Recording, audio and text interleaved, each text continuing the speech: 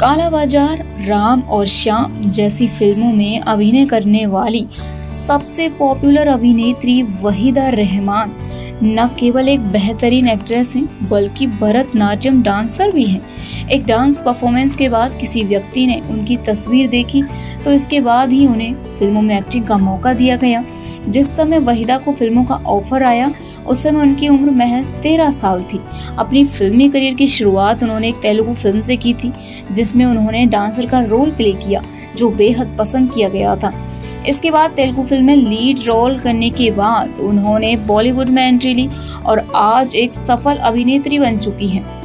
इसी कारण उन्हें फ़िल्म रेशमा और शेरा में कुल वधु की भूमिका के लिए राष्ट्रीय फ़िल्म पुरस्कार से भी सम्मानित किया जा चुका है। वहीं अब वहीदा रहमान को एक और बड़े पुरस्कार से सम्मानित करने का ऐलान किया गया है।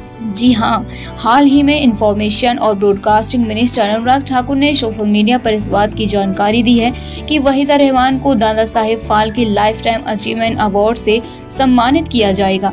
अनुराग ठाकुर ने सोशल मीडिया पर पोस्ट शेयर करते हुए लिखा है कि मुझे यह घोषणा करते हुए बेहद खुशी और सम्मान महसूस हो रहा है कि वहीदा रहमान जी को भारतीय सिनेमा में अपने बेहतरीन योगदान के लिए इस साल प्रतिष्ठित दादा साहेब फाल के लाइफ टाइम अचीवमेंट पुरस्कार से सम्मानित किया जा रहा है। अनुराग ठाकुर ने इसके आगे अपने पोस्ट में वहीदा जी की तारीफ़ के पुल बांधते हुए लिखा कि वहीदा जी ने हिंदी फ़िल्मों में अपने दमदार अभिनय की छाप छोड़ी। इनमें प्यासा कागज़ के फूल चौदवी का चाँद, साहिब बीवी और गुलाम। खामोशी जैसी फ़िल्में शामिल हैं। पाँच दशक के करियर में उन्होंने अपने किरदार को परफेक्शन के साथ निभाया, जिसकी वजह से उन्हें फ़िल्म रेशमा और शेरा के लिए नेशनल अवार्ड से भी सम्मानित किया गया। पद्मश्री और पद्म भूषण से सम्मानित वहीदा जी ने भारतीय नारी के समर्पण कमिटमेंट और ताकत का ऐसा उदाहरण पेश किया है, जो कड़ी मेहनत की बदौलत अपने प्रोफेशन में एक्सीलेंस को अचीव कर सकती हैं। बता दें कि वहीदा रहमान एक ऐसी फीमेल एक्ट्रेस हैं, जिन्होंने फ़िल्मों में कभी ब्रेक नहीं लिया। वो 1955 से लेकर अब तक फ़िल्मों में काम करती आई हैं। आखिरी बार वो साल 2021 में फ़िल्म स्केटर गर्ल में नज़र आई थी।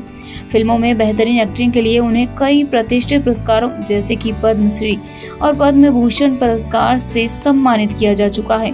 तो वहीं अब जल्द ही उन्हें दादा साहेब फाल के अवार्ड से भी सम्मानित किया जाएगा। फ़िलहाल इस वीडियो में इतना ही। एंटरटेनमेंट से जुड़ी अपडेट्स के लिए देखते रहें स्पाइस न्यूज़ भारत।